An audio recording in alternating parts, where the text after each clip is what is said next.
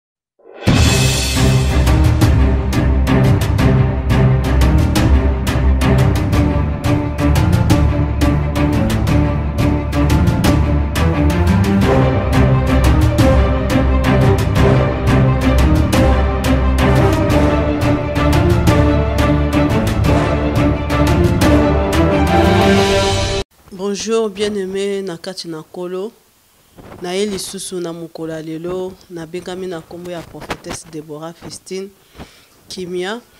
comme na lakaki bino na emission ya liboso oyo to bandaki na sukaki na temoignage na nga na premier maison lelo na zo kota na profondeur ya premier maison et l'eglise. parce que nasukaki ntango nakendeki na eglize elelo nazotalisa bino ntango nakotaki na eglize nazalaki naza mwana ya pasteur eh, libambu tya ikolo esika nayebaki nzambe nakomaki kokende kuna comme euh, toute l'église tout est accompli euh, au fur et à mesure nazokende nakutanaki na frère patrice ngoi mosoko Eh, à partir na ye nakomaki vraiment koyekola liloba parole de Dieu. Nazalaki attaché na ye en même temps nazokende na église parce que tozalaki esika moko na église moko. Et ntango nabandi kokola na kati ya, ya losambo nzambe asalaki nga grâce nakomaki responsable ya, ya protocole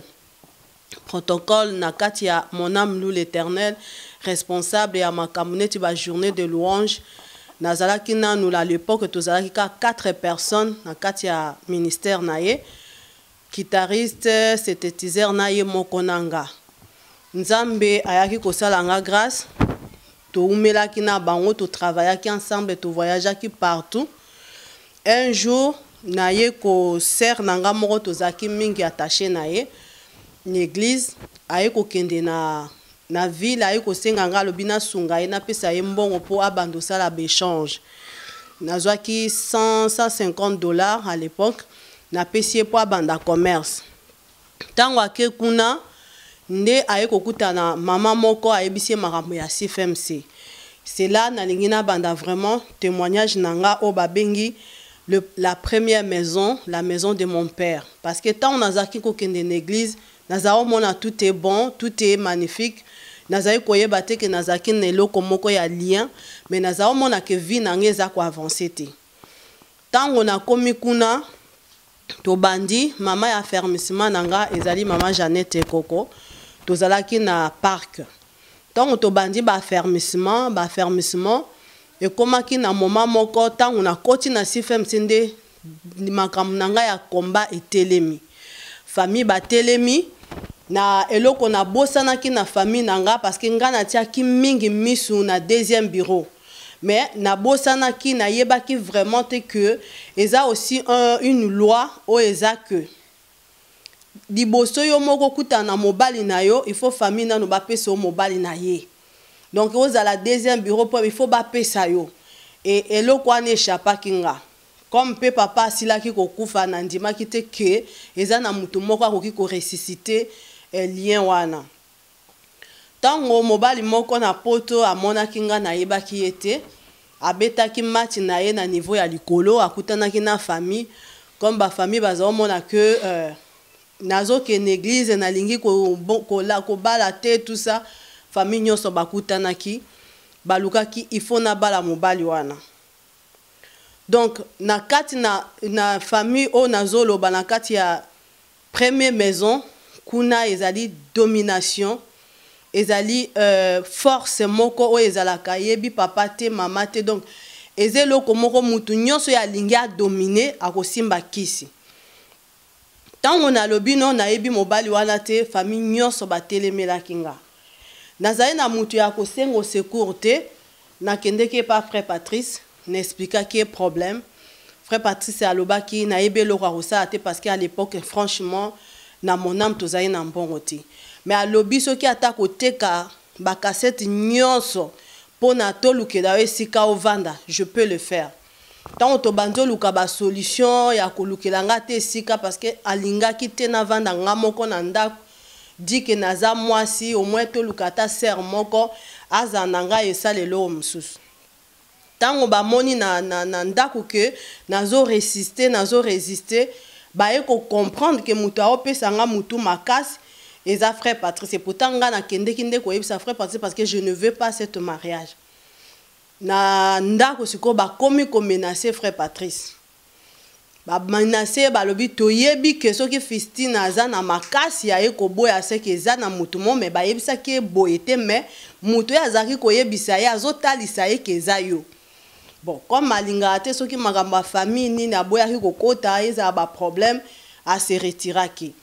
na se retrouvaki en tout cas nga moko mais ba tikaki nga te mais a se retiraki na ndenge que a sunga nga na ya na poto te objectif ya famille ezalaki que comme na poto a l'epoque ezalaki makambo ya nzambe te donc ba yebaki soki na ye na poto na ko tika nzambe et na ko sala musala na bango en disant que na poto eko zala encore pire bien aime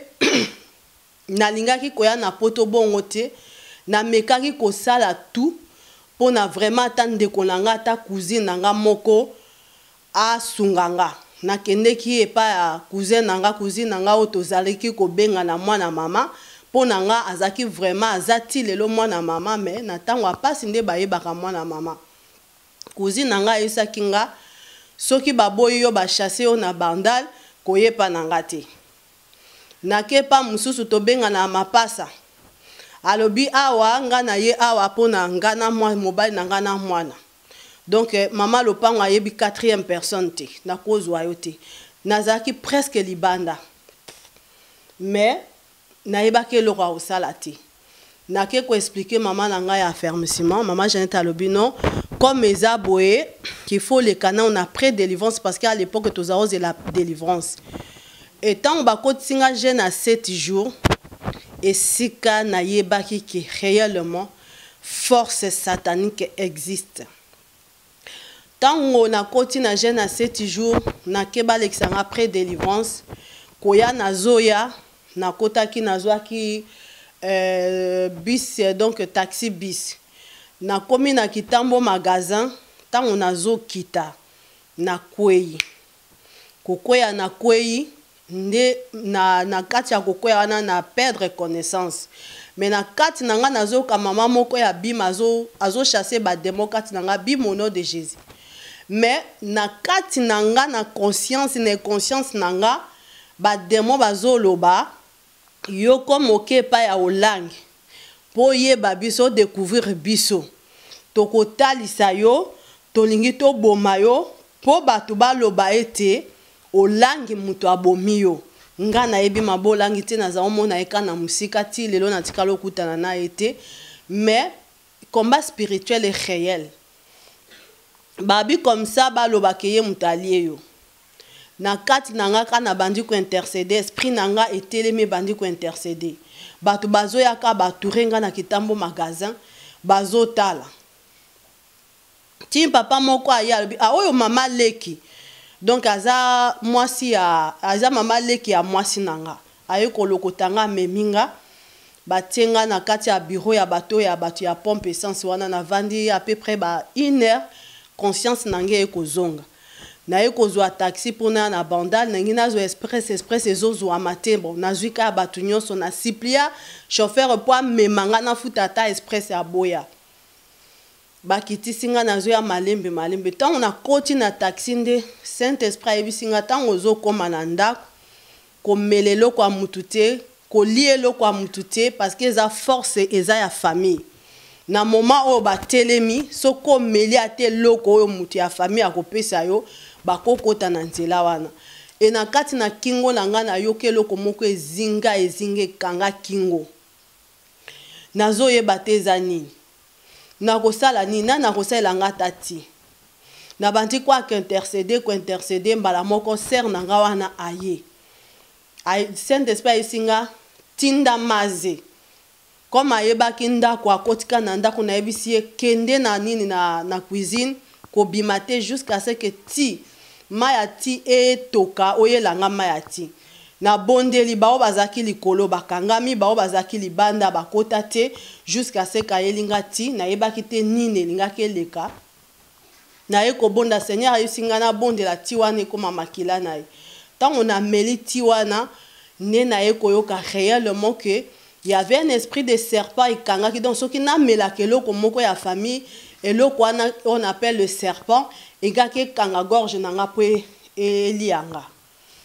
Nayoki kaka eloko elingami, elingamaki na kingo et se derouler ekoti na kati na nga. Na continuer donc nazali na bitumba makasi. Tango na silisi na etape wana nakanisi naza sauver. Une semaine après na lali seigneur alakisi nga que mbula moko, bien aime eza ba mbula mususu ebetama na Kinshasa eza reellement ba mbula ya ba ndoki eza ya Nzambe te. Jour wana nde na yebaka. Nzambe ayebisi nga bazo betisa mbula moko ya makasi oyo eko permettre jamais ba mema yo na hopital parce que bazo luka ba boma yo. Mais seigneur alakisi nga lac moko alobi kota na mayi ya lac wana il faut traverser yango avant mbula ebeta. Donc soki mayi ya lac wana o traverser yango te avant mbula ebeta donc ozo kufa. mais je suis avec toi na traversa na kati ya vision na traversa na traversa ntango nakomi uh, likolo na ngai ya gauche ekiti na mabele sec ya droite ezotombwama mpo nakita bien aime mbula ebeta na ndenge moko ya kosakana te mbula ya makasi nalamuki na vision Nabandi kobondela tata mwasi azalaki wana mama tata mwasi abandi oganga o oh, yo olingi kobala te yango ozoloba nani alingi aliya yo nani donc babandi komenase nga na ndako terrible ndima kaka okende poto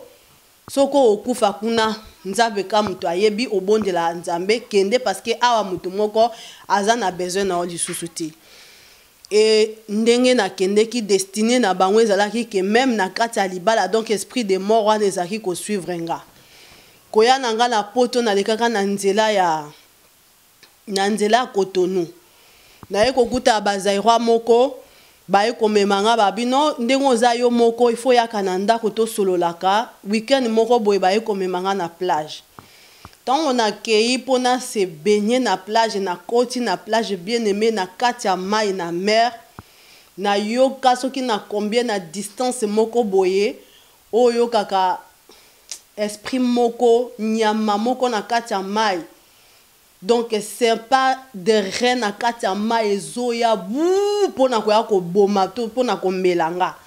Nayoki kaka eloko moko loboko moko ekoti na kati ya mayi ebimisi nga na bandi oganga eh, batu tout na kenda na bango ba panzana ba mosusu batika bana tout ça ah, nini na explique bango eleki na cotonou nazwaki bitumba ya kosakana te batiela nga bakisi mpo baboma donc eza kaka eloko ezotinda na kati ya libota na nga baboma nga nzambe aye kosala grâce na ye kolongwa na cotonou Ntango nalongwe na Cotonou, nakomi awa na Poto, nazalaki na adresse ya CFMC te. Naye kosala effort, nabondeli Nzambe bapetindela nga, batindela nga adresse ya CFMC, nabandi okende na CIF. Ntango nabandi okende nde Seigneur aye koyebisa nga nasala prière ya, eh, ya cinq jours. Abi nalingi nasala eloko moko. Bien-aime, nakota prière wana nayebi pourquoi te. esika siko nzambe troisième jour nalobi ah, seigneur oyebisi ngai nakota 5 jour lelo toa troisième jour mozoloba eloko te quatrième jour cinquième jour na butu nde seigneur aye komema ngai sikoyo na niveau ya kisangani na vandi na moni grande sœur na nga moko parmi ba bazo bundisa nga na grand grand frère na nga ba vandi pembe na nga ba tindeli nga b'esprit misato c'était l'esprit de colère l'esprit d'impudicité et l'esprit de mensonge balobi bokende kotante ya fongola porte po tokota Makambo bazoloba seigneur afongoli nga matoyi. Na bandi oyoka oyo ya mpidisite alobi te ye makambo wana alingaka yango te oyo ya mensonge alobi te ye akosaka te oyo ya kanda alobi c'est vrai aza moto ya kanda mais na moment oyo akosilikana donc nazoyoka bango nde baza baza kose discuter Natali ba grande sœur nga kasi bakosunga nga na petit na grand frère nakanisi bakosunga nga bazokipe kutu ata nga te mais y avait frère moko na kati ya cfmc natikala komona ye te mais namonaki ka na songe azoloba bi mama fisti nayebi koza na capacité ya kolonga bato wana vazi naye koyokaka eloko moko boye etelemisi nga na telemi nel nazopusana Na eza na cote ya pirogue esika bazuaka ba pirogue na Kisangani parce que eza pirogue na bac esika ya pirogue sikoyo banda na pirogue ti na niveau ya chute wagenya donc esika na bundaki sikoyo na ba sirene des eaux nayoki ka nzambe ayebisi nga kobanga te nazo pesa yo epee tango yo ozo kota na kati ya mayi kotala ya, ya, ya liboso te ya sima te Fixe kaka na trois esprits wana batindeli yo, bango nde bakomema yo esika makambo ezowuta. Bien aime, nayebi combat spirituel mais oyo nakutana na yango c'etait terrible. Nazua ka epee na maboko, nabandi otambua likolo ya mayi na Kisangani, Na bandi ko deraciner vraiment ba sirene na yebaki te que ba sirene ba ko zala bongo moitie a l'epoque c'etait Zaïre donc moitie ya fleuve Zaïre banda na libongo esika to zuaka ba pirogues ti na Chitwagenya. Na bandi ko bunda seigneur abandi olakisa nga na ba ndaku wana ya shitu wa genya na butu ekomaka ka ba sirene ekomaka ka ba boite de nuit na bango bien aime c'etait terrible naza likolo ya mayi nazo dinda te mais nazo bunda na ba sirene wana nazo bunda na ba serpent de reine nazo bunda na ba milimbo ndenge na ndenge na se retrouver na kati ya crotte wana bato bayebi Kisangani na Libanga wana ya monene nde esika ndako ya sirene esika avandaka sikoyo jour wana aza na siège na ye na droite na ye ezalaki sirene ya mobali na gauche sirene ya mwasi ya mobali oyo bazokengela ye ntango nazoya na bitumba ya bato misato batindaki sirene wana alobi o oh, il fallait pas boya na ye awa natindaki bino mission mpo bokokisa kuna koma boye na ye awa seigneur nayoki kaka mongongo moko oyebisi nga renverse ye sikoyo na telema seigneur ayebisi nga kotala ni à gauche à droite te ye moko sirene wana chef na bango nazwa kaka chaise na ye na renversa nabandi kobunda na ye nabandi kobunda na ye na ye kozwa sirene ya mobali na nini no shiti wageni ekomaki nabunda na kati ya shiti wana nanu namona bitumba bongo te basirene nyonso batelema Mais Nzambe ayebisi nga na banga te. Avec l'épée na pesi yo ko terrasiner ma biloko nyoso puissance ya ténèbres. Naye ko bunda après naye ko bima na ndoto.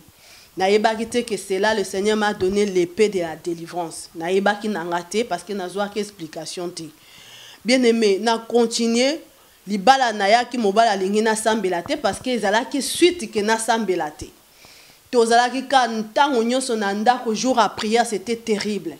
nga mpe nayebisi ye soit yo soit nzambe mais na moment na etat nayebi ke naa na combat na ko prefere nzambe ke peu importe eloko na kati ya mokili bien aime Ekomaki ka moment que eloko ya kosala mosusu eza te, naye kosala prière ya un Corinthiens, bible ezo loba que soki Chretien na non païen ba nini soki bolingi bo nasala prière wana nalobi Seigneur si c'est ta volonte mobali oyo il faut abongwama, soki eza volonte na yo te soki aza agent oyo ba tindaki po nga na pengwa donc il faut o separer nga na ye, na sala prière wana Nayebi ke ebele bakoloba Nzambe asengaka asalaka separation te wana eza yo nga nasala prière wana Nzambe aye ko separer biso bien aime na 2002 nde esika nga nayaki sikoyo na banda prière na banda combat spirituel na banda nayeba vie nini nazo mener na kati ya mokili rien ne marche na sala une semaine donc avant même tango to boyani na mobali wana donc ekomaki na za na foyer sur foyer ça donc stabilité totale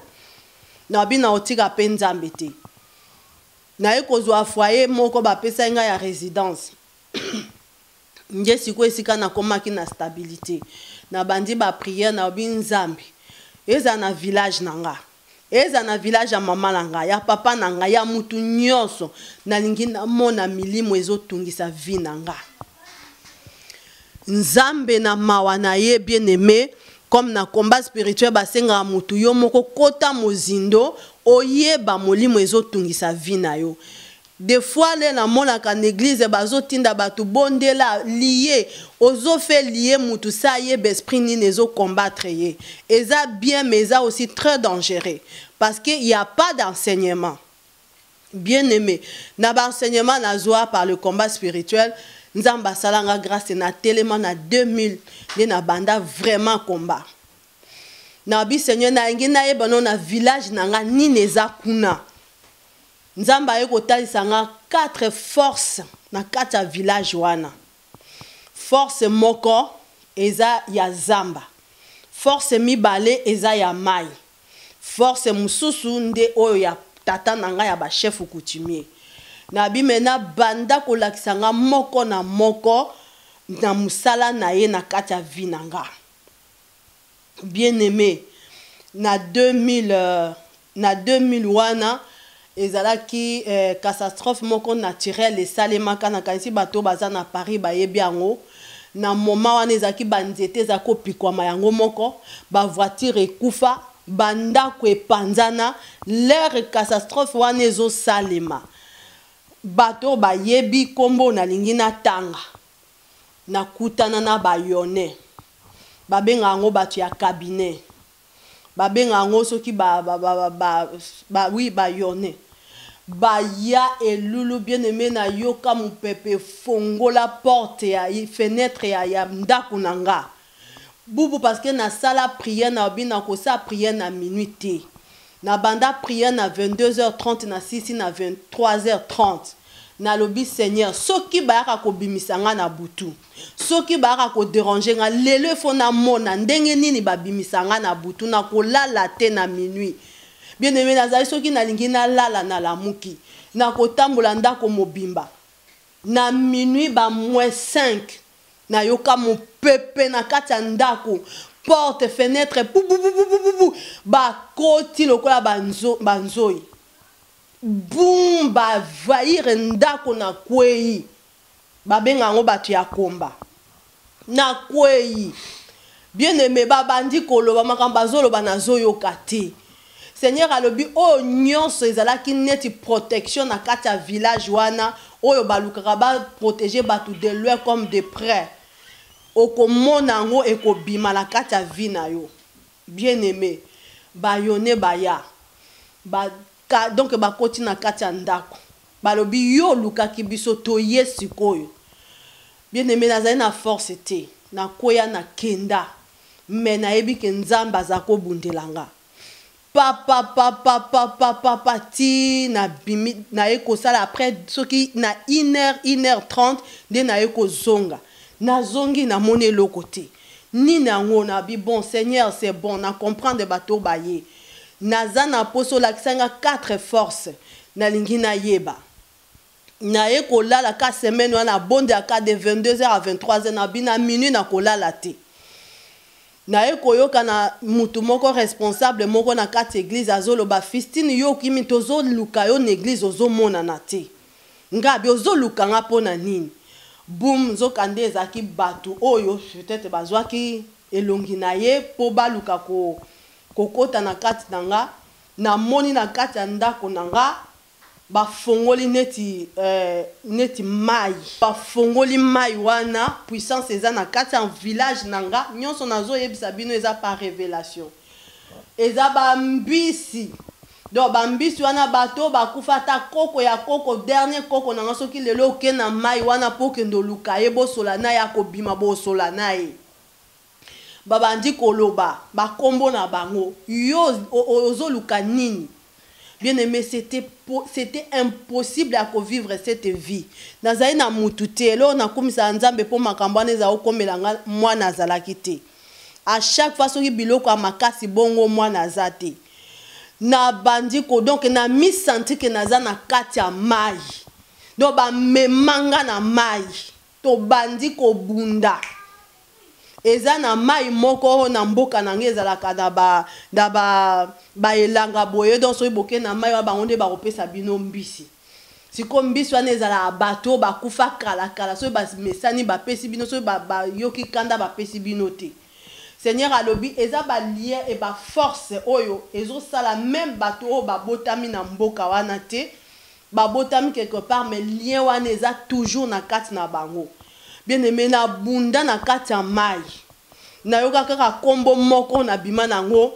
eh, chef choche mais na yebi te. Na lamuka kaka na yebisa grand frère na bengi po mingi mingi ma makambo mosusu na zalako benga grand frère na tuni ye kasa na yebisa ye ke eza boye boye omona apesi nga explication. Na bandi kobunda, na bengi kaka Seigneur! Mbala moko na moni esika wana na ndaku na nga mayi ekawuki. Ba yebisi nga comme moluka ye biso tozo tia immeuble oyo moto comme ça ozua ba problème. Yo oza kaka epayi olangi oko mona. Bien aime, journee mobimba na yoka neti esprit na nga eza lisusu te, je me donc nazo se souvenir lisusu na eloko te. Avant na kende eglise na tia biloko na moto na bosana ba mema esprit na nga. En tout cas ba mema ba kenda na esprit na nga jour wana journee mobima na zo miyeba te. Na komi na musa na nini na na na, na prière l'heure ka balobi to bondela tant na kangi misu nde Saint Esprit amemi nga na ndako. Ayebisi nga otikaki ndako nini moto polele. Et esika nazalaki ezalaki na ndaku ya ya nini ya ba assistant social 18 heures bango il faut bakende mais jour wana nzambe azalaki na nga nabenga mwasi moko oyo à partir ya 18 19 heures azwaka telephone te mais nazali na mutu mususu te nazalaki kaka ye nde fallait asunga nga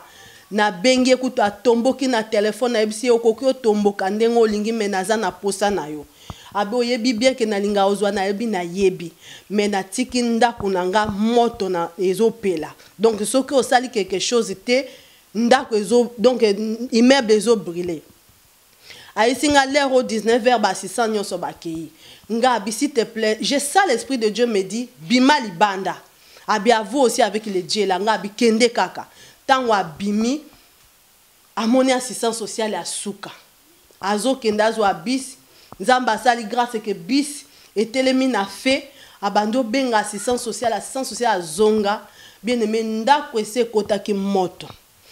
donc plaque deja esi epanzani etikaki ka nzungu epanzana po esala explosion na kati ya ndaku baye babomi moto basali nini babimisi donc esalaki scandale. wana ezalaki puissance ya mai babi fo natika cfmc parce que nazolinga na découvrir bango bien aimé nalembaki te me bitumba ezalaki makasi nabandi koloba nzambe sikoyo efo olakisa nge nao nalemba te na babi fo nayeba navandi kaka boye nzambe aye kotalisa ngai na age ya 8 ans parce que makambo nioso bokomona obanda ozongela ka age ya 8 ans abi na age ya 8 ans nde papa na nga a sacrifia nga biloko wana nioso oyo a sacrifia nga eza neti o biloko oyo balobi bazo bazo boma bazo bomba yo donc ba oyo baza ko bomba yo mais tango lelo sikoyo eza neti yo denose bango bango nde bazalaki soit disant bazo bomba yo ndenge moko nde bakoya kobundisa yo mais naza na yo Nzambe aye kotalisa nga papa na nga abalisa nga na mobali moko na tika pe koyeba te mais faut ezala ka ye moko na age ya 8 ans nazo bima na neti na annexe ndako ezaki ya munene chateau nazo bima na annexe boye nakuta ba nini ya cigarette ebele wana nga bi cigarette oyo nani azo mela bayebisi nga zela omona moto ya omela cigarette moto oyo ateka yo ye moto amelaka cigarette oyo likolo ya paquet ya cigarette nde ateka yo ah na mona ka boye ngambe ya mobali mobali kitoko ye wana azoleka papa na nga ah! oteka nga nga abi papa mpo na nini oteka alobe eloko te akoti na chateau na ye wana ake avandi na bato na ye nazoyeba eloko akosala te na kati ya vision nazomona ndeni nazomitungisa na abi seigneur ifo sikoyo nayeba asala nini Na bondeli na bondeli bien aime par la grace de Dieu seigneur aye ko delivrer nga na esprit ya sirène. Nzambe aye ko talisa nga na se na mayi na kati ya ya ya ya, ya ya nzete moko boye ya monene esala misisa na kati ya mai nde kuna ezalaki neti ndako na nga bo excuse nga navandi na libanda na sec nazo mimona nga moko na kati ya mai naomona mutu na nga me na nsima lopele ya monene nazoloba me ngai navandi awa me nazomimona ngai moko na kati ya mai ezosala nini nazo comprendre te bien aime nabandi komitungisa moke boye namoni na lola Na moni na lola au moins ba quatre ou cinq helicoptères oyo ya ba soda ezo tourner ezo tourner ezo tourner nga bi oyo likambo nini na vandi eza nga kuna eza ngai awa eza nini nazo mitungisa mbala moko na moni loboko moko ezo luka ekanga nga nga nazo kima ezo luka ekanga nga nga nazo kima donc na kati ya mai nazomimona ndenge nazosala bageste wana nazokima lopele ya monene namonaka ke hélicoptère moko boye etelema fixe place ngai nazalaki ekitisi chaîne ekiti namona mobali moko ya molai na banini bateni ya basoda donc babote ti awa na makolo donc esala seconde akita papapapa akita na kati ya mai Alokoti eloko wana nako loba eza nga te parce que nga asa sirene te tango ka atomboli eloko wana na moni pe mayi oyo naza omona mozindo eza nango ye mayi te na maboko sikoyo ya mutu oyo akendeki kozua nga ezalaki mutu te ezalaki ange Gabriel ange Michael Michael azui nga na maboko azoya na nga nayebaki te ke ezalaki Michael azoya azoya azoya azoya nga nazoyebisa ye mais eza ngai ozo mema eza nga naza awa eza nini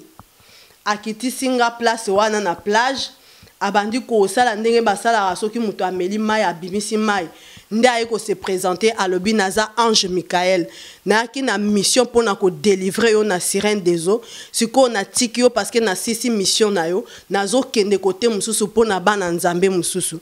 bien aime na bima na glorifia nzambe e biloko naza koyoka ata mosusu naza ata na salle de bain na kati ya mai nazosentir neti na donc ezalaki na ata natala miroir nazomona neti de personnes Na moni biloko wana ba seduction makambo nionso eye ko kweya à partir ya wana c'etait souffrance na continue ko na ko luka kaka na yeba bien aime na wuti musika na yebi ke mingi ba ko linga yango te mingi ba ko seka mais eza vie na nga na zo loba donc il ya le tueur de de destine il ya le changeur de destine donc na kati ya famille wana ya la sorcellerie oyo nauti koloba ke papa ayebi maana te mwana ayebi papa te donc kaka force moto ezokipe na place wana oyo aza na force ya asala e nabondeli nzambe nayeba makambo ezowuta wapi bandeko na nga nzambe azwa matoi na nga abandi oyokisa nga bapa ya tata na nga ndenge azotambola ndenge azotambola aye komema nga place moko boye namoni avandi na kitikwale na bato moko boye na bashefu mosusu nga abi me papa oyo aye kosala nini yango na kati ya salite nzambe alobi zela nazotalisa yo eloko moko babandi osola na bato wana sete na Ah, babandi osola na bato wana ntango babandi osola na bato wana bapesi ye sikoyo serpent ya mwindu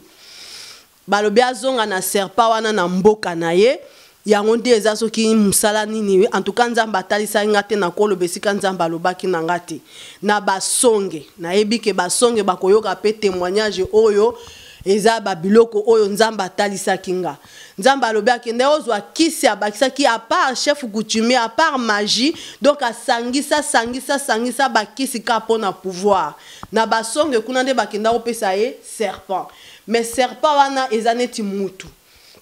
Nde serpent wana nde aya atikela yango grand grande sœur oyo azosala misala ya papa lelo donc na kati ya vie na ngai azali ko se déguiser comme serpent moye oyeba ye eza te yango nazwaki temps mingi mpo na découvrir parce que azali ko se découvrir te azali otinda soit molimo ya tata azotinda soit serpent azotinda banyama mosusu nazokoka koyeba ye te yango delivrance na nga ewumela ti nzambe aye kotalisa nga abi serpent yango wana yango ekonzaka famille lukika nyonso donc ye eh, grand sœur wana ye moto adesidaka soki okobala to kobala te ye moko asi aloba eza na mwana na ngai moko mpe akotatola likambo yango oyo nazoloba nzambe akosala grâce témoignage eza monene bien aime na bi sikoyo serpent oyo asala nango nini ntango nzambe alakisi nga serpent wana nabandi kobondela kobondela mokolo mosusu kaka nalali namoni likolo ya mbetu na nga piton bien aime nayokaka namonaka piton na, na, na bekra ya tele me komona ye boye c'était terrible Pito avanda na kati atonda na kati ya mbetu na nga nalobi oyo moyen na boma ye eza te nayebi frère moko aza a cote akendaka eglise na benga ye ako sunga nga nake kobenga frère wana frère aye alobi non fistine makambo oyo nga nakendaka eglise mais makambo na okoka na nga yango te eza makambo na yo ifo yo yo oza na capacité ya kosilisa likambo oyo nga nazongi bien aime na banda kobunda na piton na bandi ko bunda na python nzambe comme apesa nge pesa na yeba ko utilisation ye pe ango noki ka eloko moko ebisi nga kata mutu na kata mutu ya python python akweya python akweya tango python akweyi na continuer na prière jeune ya 21 jours Na kati ya jeune ya 21 jours nzambe aye kotalisa nga naza na crote moko boye serpent sikoyo alingama alingama akanga nga donc moyen nabima eza te naye namimoni nga bi seigneur nazosala nini awa nzambe alobi eza prison bakanga yo na prison awa sikoyo nalobi nasala nini nzambe alobi belaka au nom de jésus nalobi kaka seigneur au nom de jésus fo nabima bien aimé python mula nini serpent mulayi donc asembwami ye moko sikoyo efale abima ntango ye azoluka nzela abima nga mpe nazolanda ye na nzela nsima ye azobima nga nazolanda ye na nsima mpo nabima esika ye atiaki nga etoke kokóma na place moko boye courbure Courbe wana sikoyo ezosala neti ba courbe ezalaka on dirait ezozonga lisusu place owutaki. Serpa azonga boye na kati ya courbe wana abeta nga na makolo.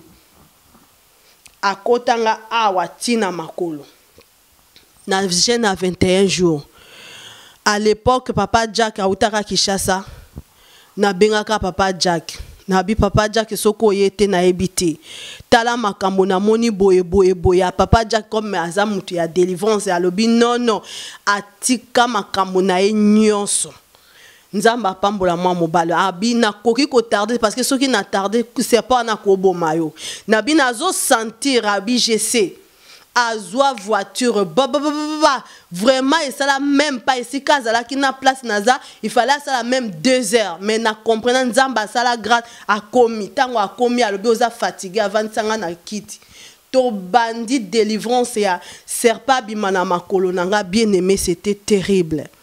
C'etait terrible je suis fatigue j'ai ete fatigue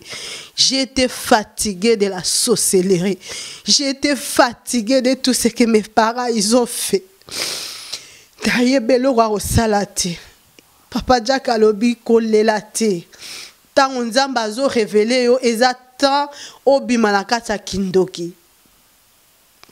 bien aime abandi kobondela abandi kobondela abandi papa jaka ayebisi nga eloko nyonso signe nyonso okoyoka na kati ya nzoto na yo kobanga te koyoka nga soni te lobela nga bien aime nayoki neti serpent asopi bavene na ye na kati ya nzoto na nga Nayebisi ye papa Jack nayoki boye boye abi c'est bon. Serpa abimi. Abi abimi abandi siko ko sanctifier nga ba prière ya sanctification ba prière ya delivrance ya sanctification nazo yoka ndenge neti poso neti esprit wana ezo bima na makolo na nga ti ake abimisi ye nionso mais eza yango te nde etikaki nga serpent na vie na nga parce que ezalaki mutu mutu azali kobundisa nga na lolenge ya serpent Bien aime na continuaki delivrance tango nzambe aye komema nga place moko boye atalisi nga na nzungu moko boye esika bakoma kombo ya grand frère na nga ya liboso ti na petit frère na nga ya suka nzambe ayebisi nga tanga ba kombo nionso na tanga kombo ya moko na moko alobi esika yo komona kombo na yo bimisa yango Koluka te obimisa nanu ba mususu pour le moment parce que oza na force te. Na bimisa kombo na nga ba tia ba kata ba suki ba zinga ba tia nini singa na kati ya suki wana ba komi kombo ya mutu na kati ya papier. Donc ba tia biso na kati ya nzungu wana. Nde esika na kende na bimisi nzungu. Bien aime na continuer na prière.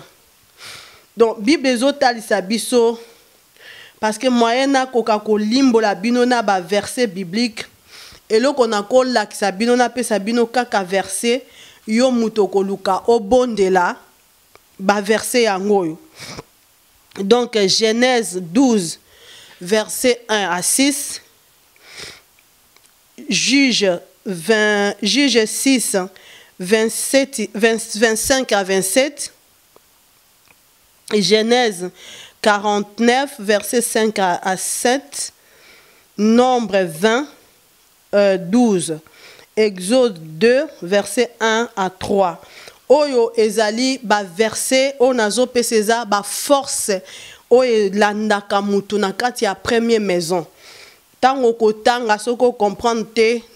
frère papi akotia numero na ngai ya telefone parce que moyen na explike mutu sikoyo parce que kosala na témoignage na enseignement esala biso mobulu mingi donc napesi kaka baverse wana soki okomprendre te okobenga nzambe apambola bino lisusu tokokutana mbala nsima